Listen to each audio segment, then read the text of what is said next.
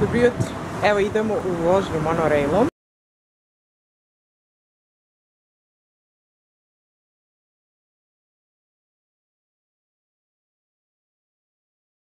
Ha.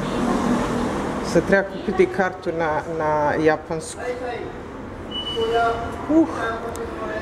Can you help me please? To su bile korejske pare. And where is my ticket?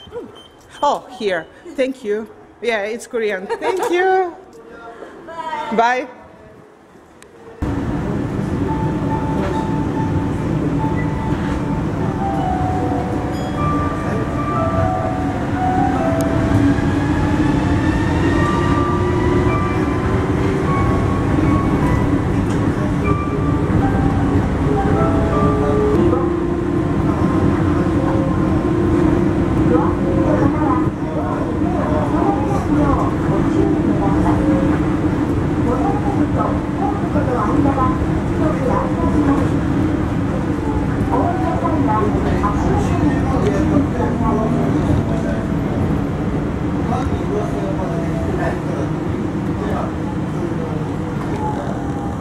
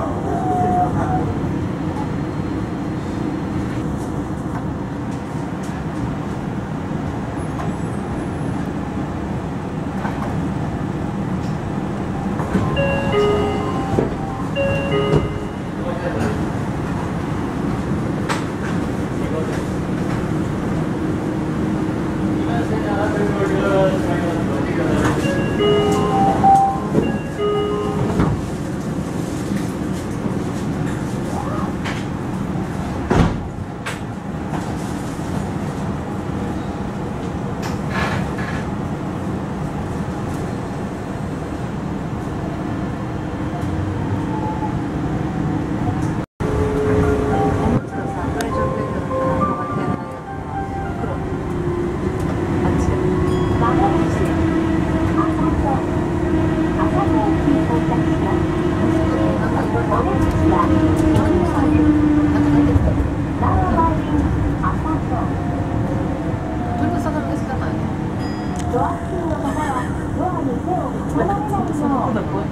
ゃ痛かった。